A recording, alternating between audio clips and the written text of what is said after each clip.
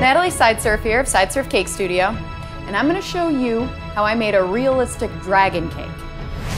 What I really love about this cake is we're going to use one of my favorite cake decorating tools, which is scissors. Not only do the scissors create this really, really interesting texture, but the sound they make is very satisfying. So you're going to have to listen for that. Let's get started. We're going to start out with some modeling chocolate. We're going to make the entire head out of chocolate.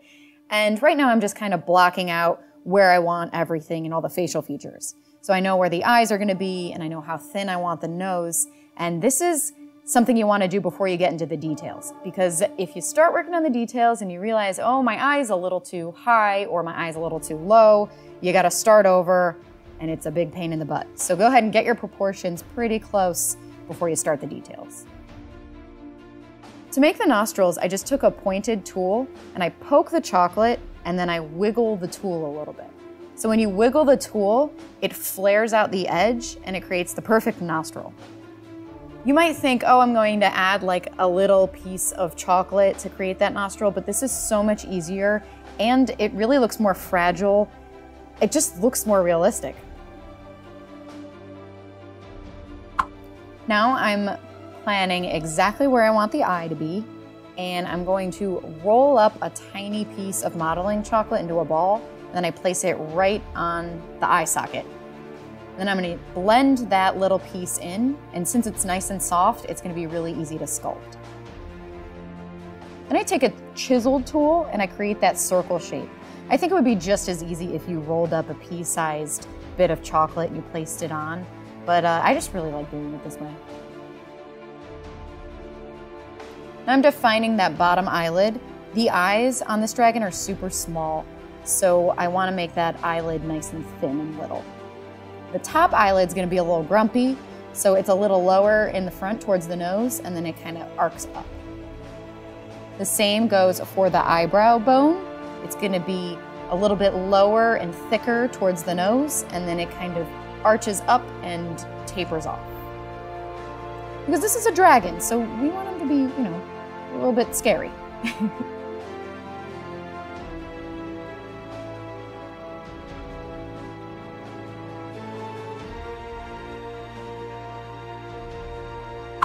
now, if you roll up a ball of tinfoil and you press it into the chocolate, it creates this really awesome random texture. And I do this pretty often. It's perfect for something like a snake or, in this case, a dragon um, because the marks it's making are super random. You don't want these like perfect, you know, repetitive marks. I like that they're in all different directions.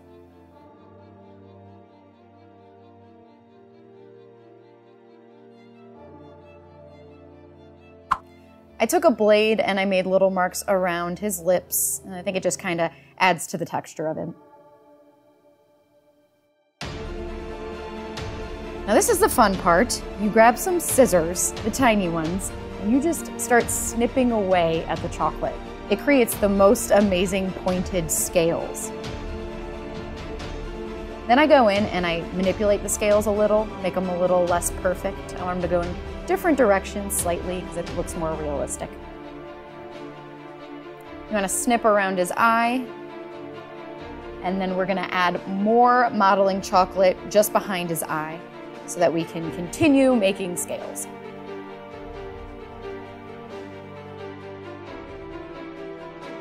And then you're gonna grab your scissors and we're gonna start snipping away. The first layer just behind the eye, I made smaller snips, and then as I go back, they get larger. So we've got a small, and then a medium, a large, kind of like an extra large. You can see I push into the chocolate and then snip push in, and then I snip. It looks so cool. I love this technique. I mean, it's super, it's super effective, but it's also really fun to do.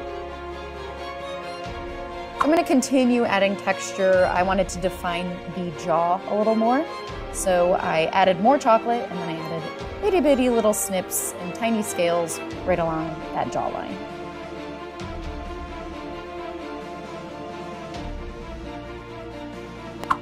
I added more chocolate to the top of his head and added two spikes back there.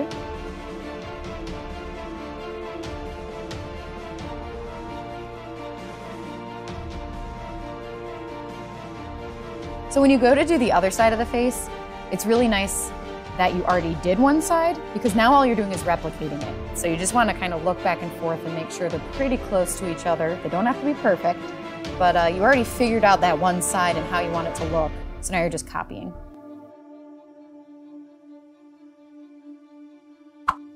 Here I have a 10 inch cake board and I have a 10 inch round piece of vanilla cake that I cut in half. Then I layered it and now all I'm doing is rounding out the edges.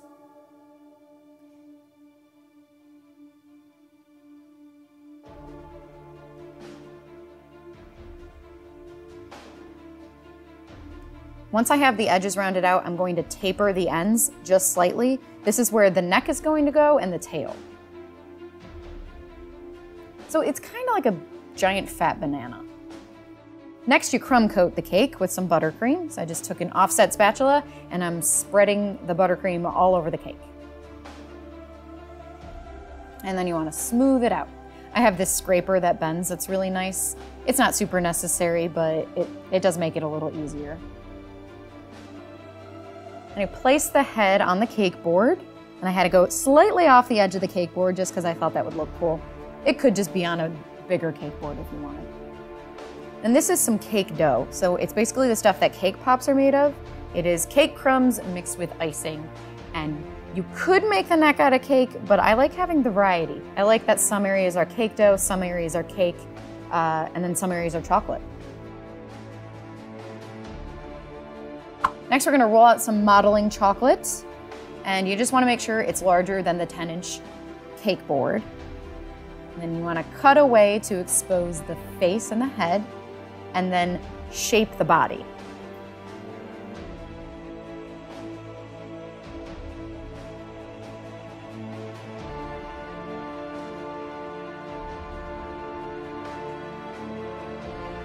Go ahead and trim away the skirt and then tuck the chocolate underneath the cake.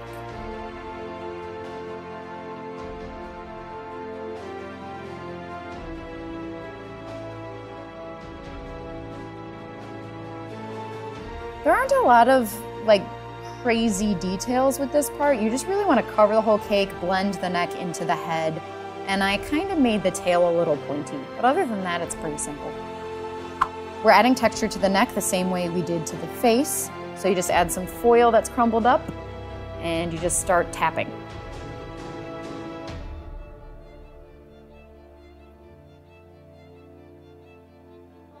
Now you take your little scissors and you're gonna add some scales. So these are all gonna be pretty small scales.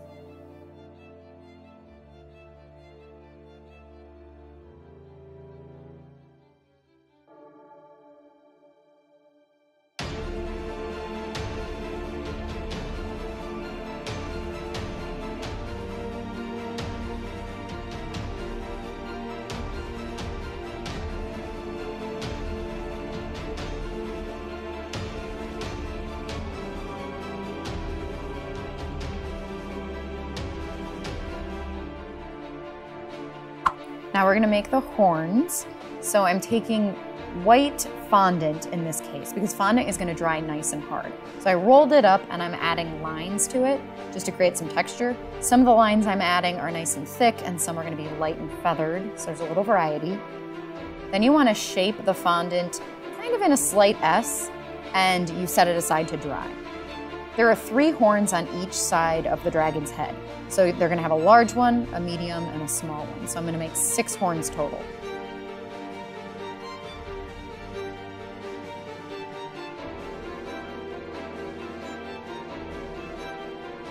Then you wanna place the horns into the chocolate. So start with the large one, and then the medium one just below it, and then finally the small one. And you do the same for the other side.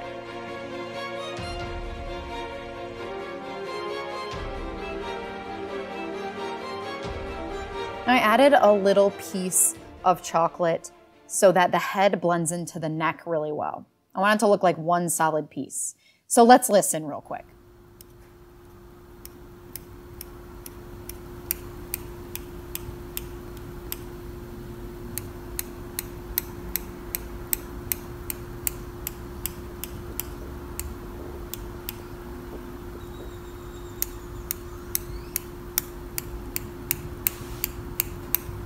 How satisfying is that snipping noise? it is so fun. I love adding texture this way.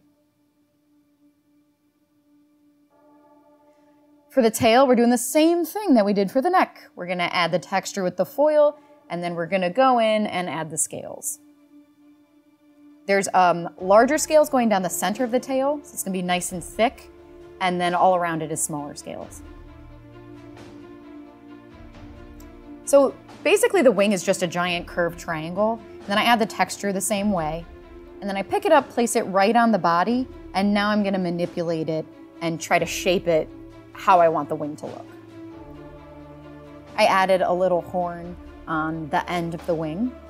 And then I wanted the other end to be kind of folded and have kind of a thin feel to it. To add the shoulder blade, I just took a chunk of modeling chocolate and then I shaped it.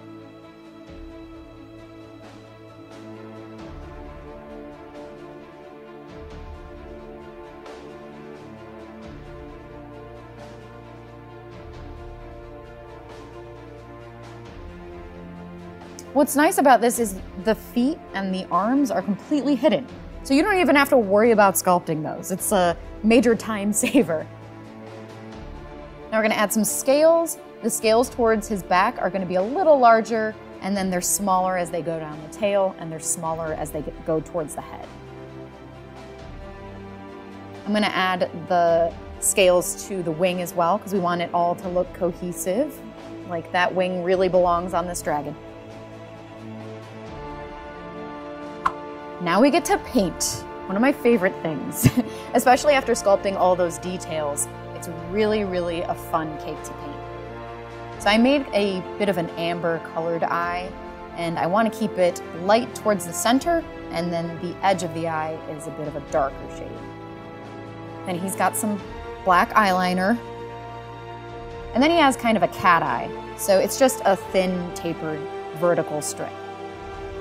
Now I'm adding some red around his eye and it's gonna go down through his nose. The entire dragon's gonna be mostly grays and browns, but I wanted to have these kinds of pops of red because I feel like it's really gonna make those eyes kind of, kind of glow. and you wanna take the brush and make sure that you're getting color in all of those marks that you made. You want the color to seep right into those crevices and really define all those shapes. It's funny because I always say that you know, when you create all this texture and then you go in and you paint, it almost paints itself because really you're just letting all the color go into all these marks and it's easier than I think it looks. I took a clean dry brush and I wiped away some of the food color. And what's nice about that is it only picks up on the raised areas. So it's just a really easy way of adding highlights. I even went in with like a light green added a few highlights with that.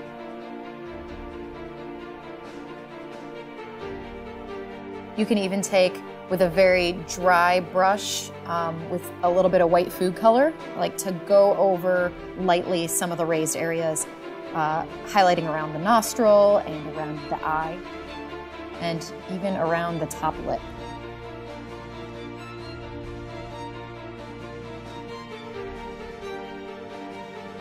The horns I kept white. I do have them blending from a dark gray to a white, but I wanted them to, you know, really pop against the scales. Now I went in with a kind of a burnt orange. It's a bit of a red orangey color, and I covered the entire dragon in this color. I knew I wanted to use it, so I know if the entire thing is covered, then I can go in with the browns and the grays and the greens, and it's just gonna be cohesive throughout the whole dragon.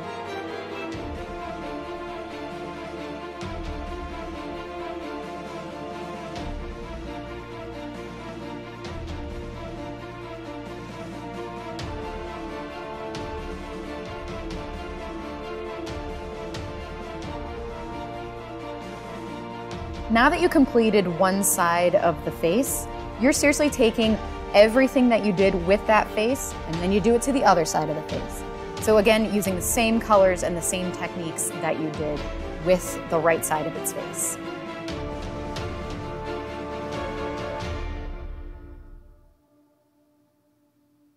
So we got our red areas, got our green areas, and some highlights on the scales. You can see around the back, I kept it light, and then I went in with gray and then green at the bottom, kind of like these stripes that go through his back. And I love the tail. I love the orange color and then the outside having that green and gray. I think it looks really, really cool. For the wing, I kept some orange areas that I wanted to feel more translucent and light. And then I went in with those three kind of fingers and I made those, you know, grays and browns. So with a little bit of piping gel, if you take a blob of it and you paint it over the eyes once they're a bit dry, then it's gonna make them look shiny and it is so cool against the scales. The scales are very like matte and then these eyes are super glossy and it looks like they twinkle. and there you have it. It is a super colorful, a super textured, and kind of adorable dragon cake.